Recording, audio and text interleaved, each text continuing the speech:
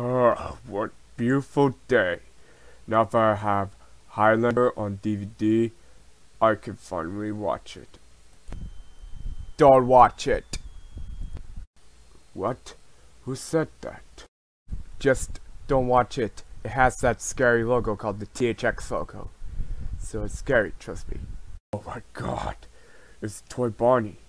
And you're telling me there's gonna be a logo that's gonna freak me out?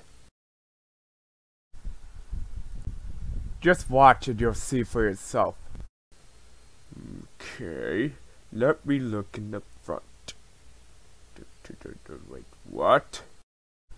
Just put the disc in already and just watch it! Fine! I guess I have to do everything around here. I've watched this before and it's not scary.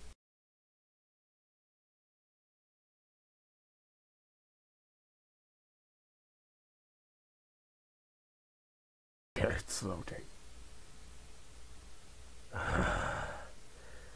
I can't believe this warning signs here.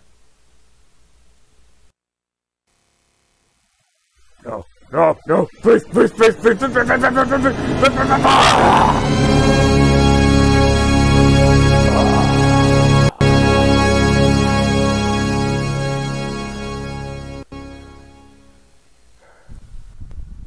Told you!